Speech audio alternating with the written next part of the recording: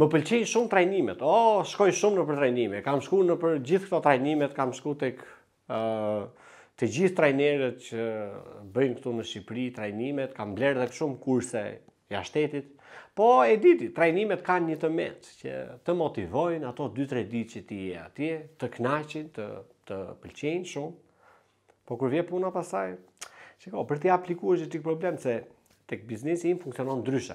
Unë i kam tjera gjëra. Ai flet në terma akademikë edhe në terma të përgjithshëm, edhe flet sikur të jetë gjëja ideale, por tamam tamam trajnimet nuk janë për Shqipëri, domethënë nuk janë për biznesin shqiptar. sepse neve në Shqipëri kemi një kulturë tjetër, kemi një mentalitet tjetër edhe normalisht unë mund të jem fans i trajnimit, më pëlqen shumë të iki, takoj njerëz të mirë, njerëz të bukur, njerëz të suksesshëm, njerëz të biznesit, po kaq, domethënë trajnimet janë thjesht për connection, nuk është se mëson një gjë nga trajnimet ose janë gjëra që i dim ato, normalisht çfarë do thotë ai aty, ja, po hu këto i dim.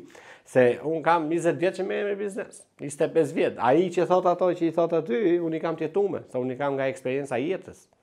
Njëzet vjet të bësh biznes edhe të kesh këtë sukses që kam unë, nuk është kollaj.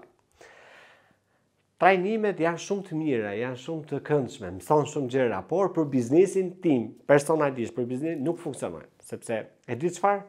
Ky biznesi im ka specifika të ndryshme, se unë kam këtë lloj stafi, kam këtë lloj mënyre, se unë kam këtë lloj klientësh, edhe nuk mund t'i përgjithësosh tashi gjithë trajnimet të jenë për gjithë llojet e bizneseve që ai flet, e kupton?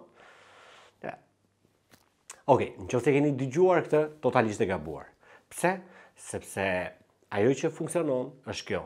Trajnimet të japin formulën, të japin mënyrën, mendësinë, mindsetin si ti të mendosh, por në qoftë se ti do t'i futesh thellë, ti duhet të marrësh një gjë dhe atë gjë që ti bën, atë gjë që ti fikson, duhet ta vësh në zbatim ose në qoftë se nuk po e vën në zbatim, gjej një person që të të ndihmojë për ta vënë në zbatim.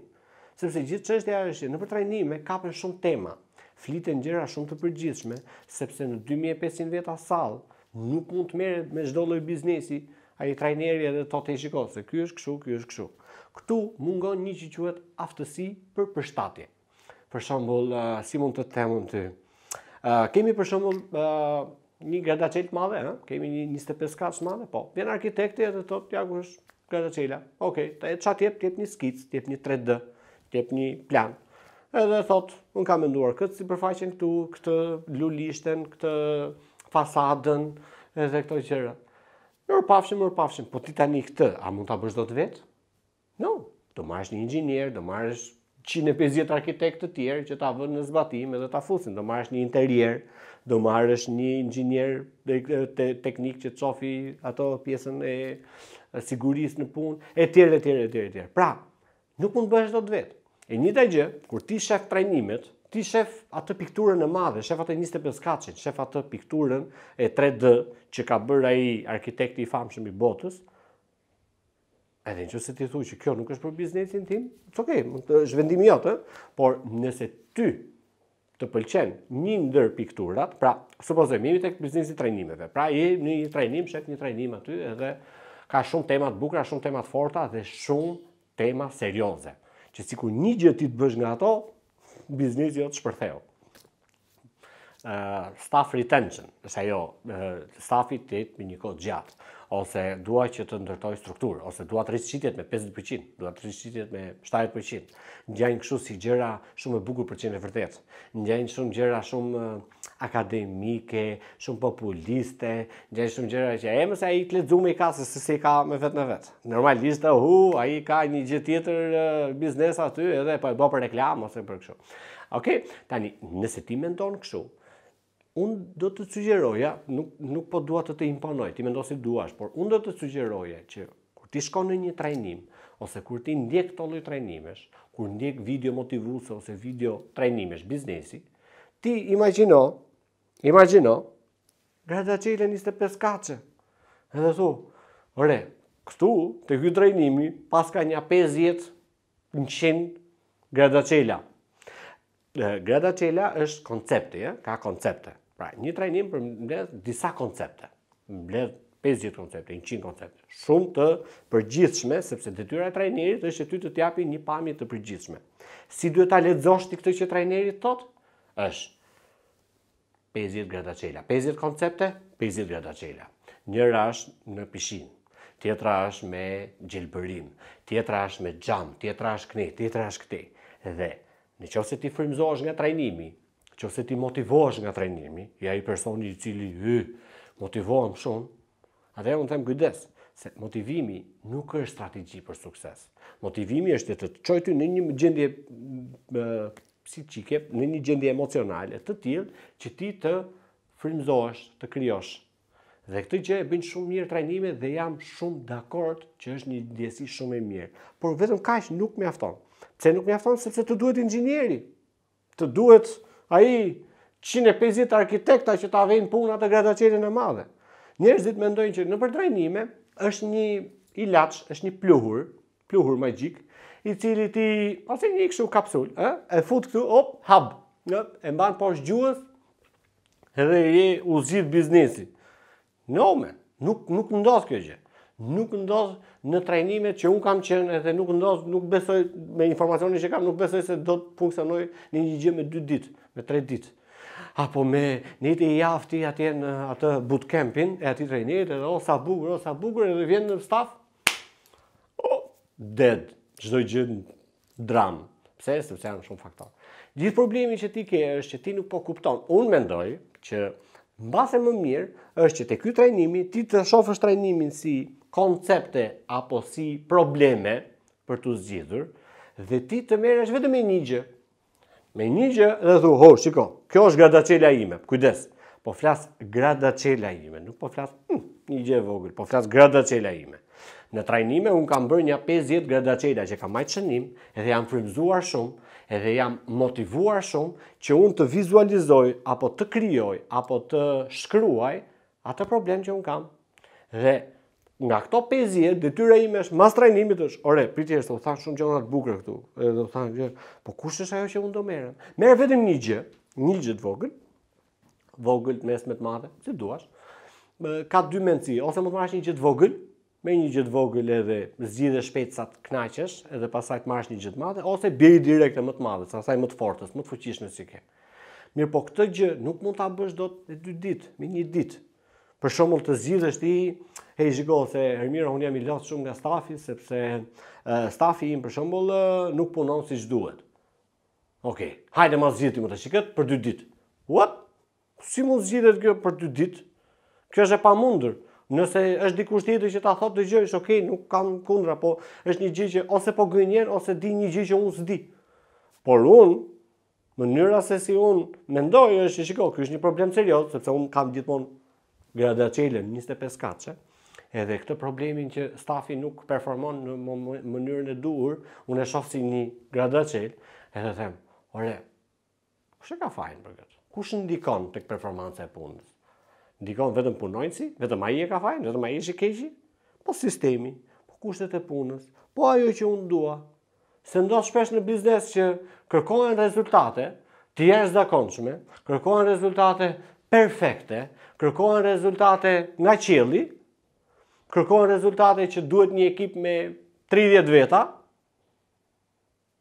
Po sa veta ke në punë ti? Dy. What? Pra nuk qenka vetëm faj punëtori, qenka dhe shumë gjëra tjera. Ose kërkohen gjëra që për të zgjidhur problem, ti mendon që më nevojitet stafi. Jo, jo gjithmonë, mundet. Por, në qoftë se ti ke një problem, mënyra se si unë e shikoj është që Cilat janë komponentët apo mundësitë për ta zgjidhur këtë problem.